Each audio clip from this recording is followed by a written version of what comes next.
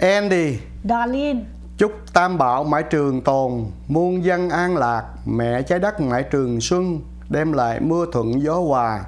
Nước mắt chúng sanh không còn rơi, bom đạn không còn nổ. Muôn dân an lạc thái bình, sung túc và nhiều hạnh phúc. Chúc các quý vị lãnh đạo các tôn giáo phước huệ tăng trưởng, thăng khỏe, tâm an, đạo quả sớm duyên thành và sở cầu như nguyện.